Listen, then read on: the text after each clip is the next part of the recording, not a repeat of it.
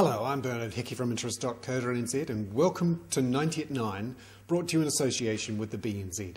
This is your morning briefing where you get everything you need to know in 90 seconds at 9 o'clock, starting now with news that Greece's credit rating has been downgraded overnight by Moody's from AA2 to AA3.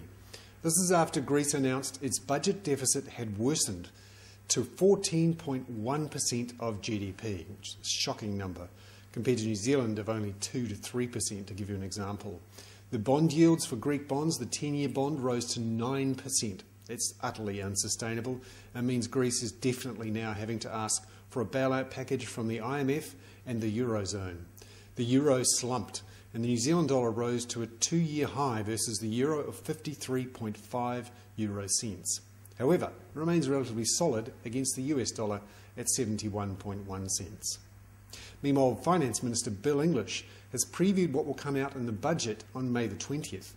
He's talked about reprioritising $1.8 billion of spending from, quote, low value areas to higher value areas. He's also said a 1.1 billion allowance for new spending will be restricted to just 2% in growth.